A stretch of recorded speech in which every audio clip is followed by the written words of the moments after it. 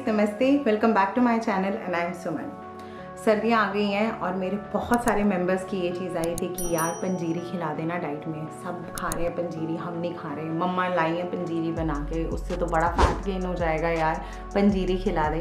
तो मैंने सोचा जब सबको पंजीरी की याद ही आ रही है, सर्दियाँ आते आते मुझे भी आ रही है तो क्यों ना पंजीरी बना ही लें? क्योंकि मैं अपने लिए तो बना ही रही थी। तो मैंने कहा, चलो वीडियो शूट करके आप लोगों को रेसिपी भी शेयर कर दी जाए। क्यों? और पंजीरी के बिना तो सर्दियाँ वैसे ही बड़ी इनकम्प्लीट होती हैं स्पेशली उन लोगों के लिए जिनको नस्ला की बड़ी सारी प्रॉब्लम रहती है, जिनको जिनको कोल्ड कफ कंजेशन बड़ी इजीली लग जाता है। जिनके बाल सर्दियों में बड़े सारे उतरते हैं ना रफ हो जाते हैं। एंड सबसे इंपॉर्टेंट चीज़, जिनकी पैरों में पूरा दर्द रहता है, पैरों में, घुटनों में बहुत सारा दर्द रहता है, जिनको वीकनेस वीकनेस सी फील होती रहती है पूरी सर्दियाँ।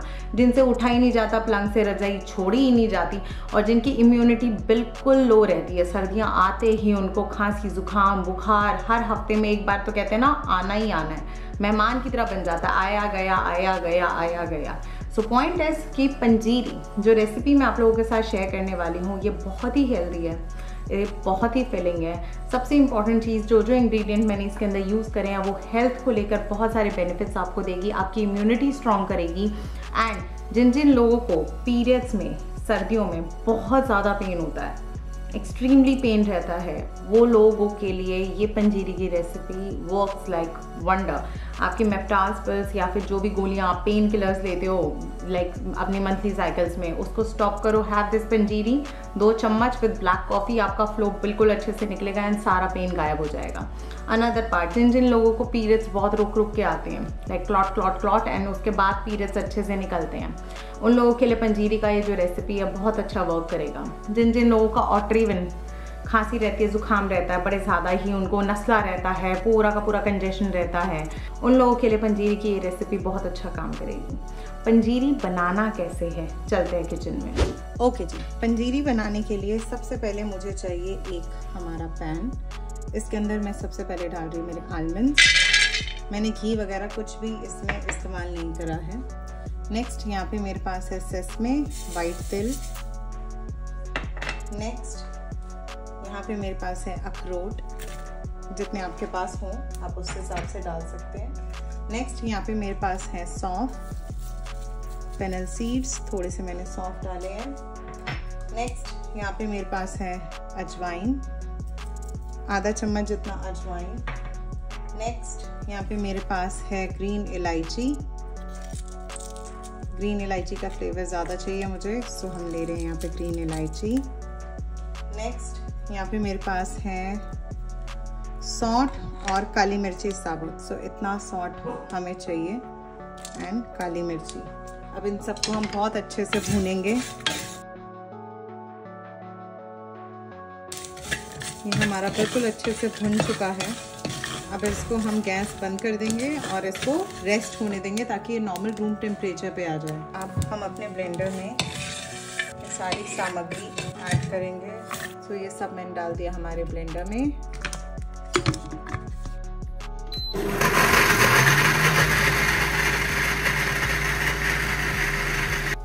ओके नेक्स्ट सेम पैन के अंदर मैंने डाल दिया मेरा एक चम्मच जितना घी।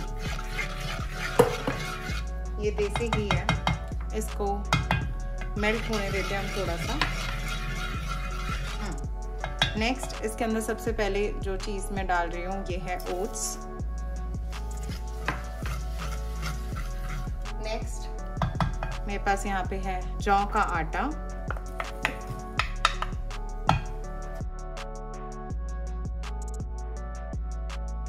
खूब अच्छे से हम इसको सिम आँच पर पकाएँगे। पाँच से दस मिनट लग सकते हैं। जब तक घी अलग ना हो इस मिक्सचर से, तब तक हम इसको अच्छे से पकाते रहेंगे। थोड़ी सी मेहनत वाला काम है।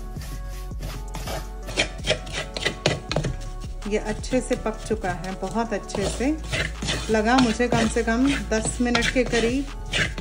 बट मेक श्योर आप इसको अच्छे से पकाते रहिए। इसको छोड़ना मत ऐसे। अदरवाइज़ ये बर्न हो जाएगा। सो so, यस yes, ये बिल्कुल रेडी है अभी। अब हम गैस को बंद कर देंगे और इसको ठंडा होने देंगे। यहाँ पे मेरे पास है पूजा वाला नारियल और ये मैंने अच्छे से ग्राइंड कर लिया है यहाँ पर। टप्पी का फेवरेट है नारियल इसलिए उसको खुशबू आ गई है नहीं मिलेगा। सो so ये रहा ये अब हम इसके अंदर ऐड करेंगे हमारी पंजीरी के अंदर। इसके अंदर हम ये ऐड करेंगे। पूरा मैंने एक नारियल ऐड करा है। खूब अच्छे से हम इसको भी हल्का सा मिक्स करेंगे। बिल्कुल गर्म है मेरी कढ़ाई।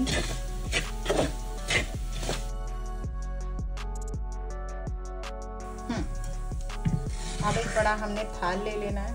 उसके अंदर ये सारा मिक्सचर, ओट्स, हमारा जौ का आटा, नारियल और घी का मिक्सचर जो है वो मैं इसमें डाल दूँगी और ये काफ़ी गर्म है मिक्सचर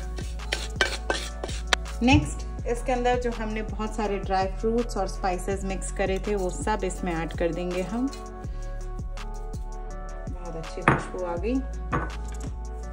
नेक्स्ट खूब अच्छे से इन सबको मिक्स कर देंगे। अब अगली चीज़ आती है जैगरी पाउडर यहाँ है मेरे पास जैगरी पाउडर इसको हम मिक्स कर देंगे एज पर योर टेस्ट नहीं मिलेगा नारियल, खाली आपने थोड़ा सा। परफेक्ट इसको अब हम मिक्स करेंगे। खुशबू बहुत अच्छी आ गई।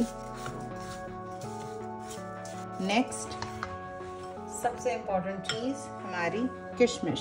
ये भी ऑप्शनल है। यहाँ पे थोड़ी सी मैंने किशमिश डाल दी। इसको भी अच्छे से हमने मिक्स कर लिया। ये बिल्कुल रेडी है। अब इसको स्टोर कैसे करना है ताकि ये लंबे समय तक हमारे साथ चल सके। दस दिन पंद्रह दिन चल सके। सो so, अब यहाँ पे मेरे पास है मेरा एक कांच का कंटेनर इसके अंदर मैं ये पंजीरी डालकर स्टोर कर सकती हूँ इजी सो so, ये रही हमारी पंजीरी। बिल्कुल रेडी है। आप इसको बाहर रखेंगे फ्रिज में नहीं लगाने का। ये चल जाएगी आपकी 10 से 12 दिन तक बिल्कुल फ्रेश और खुद खाओ, सबको खिलाओ। और जी सो ये रही मेरी पंजीरी। और मैंने नाश्ता कर लिया है। और इसको कैसे खाना है? वन टू टू स्पून हम डेली का इसका लेंगे after breakfast like mid breakfast में। सो अभी बज रहे हैं साढ़े दस और मैं अब इसको लूँगी। इसको ग्लास के कंटेनर में ही रखो और अपने डाइनिंग टेबल पे ही रख लो। तो कितनी क्वांटिटी चाहिए हमें इसकी? टफ़ी वन स्पून टू स्पून इतनी पंजीरी अपा दिन की खा सकते हैं। टेस्ट करें। हम्म। अगर इसको थोड़ा माइक्रोवेव में गर्म करके खाओ मुझे और यम लगेगी। मीठा भी इतना नहीं है नॉर्मल है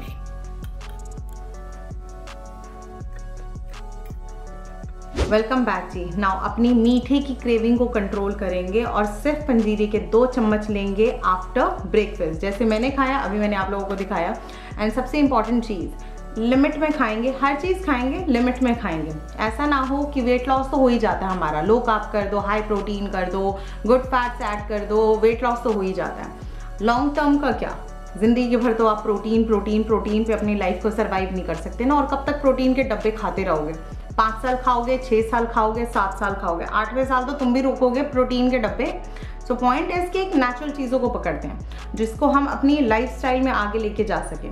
ऐसा नहीं हो कि चलो जी, आज तो वेट लॉस कर लिया मेंटेनेंस के बारे में मेंटेनेंस की बारी आते ही बम बम भोले हो जाए। मतलब कि मेंटेनेंस की बारी आती है, ढोल बच जाए और दोबारा से हम लोग ढोल बन जाए। सो पॉइंट इज़ कि इस तरीके से वेट लॉस करना है, जिसको आगे जाकर हम उसको मेंटेनेंस में भी कन्वर्ट कर पाए, अपनी लाइफ में कैरी कर पाए।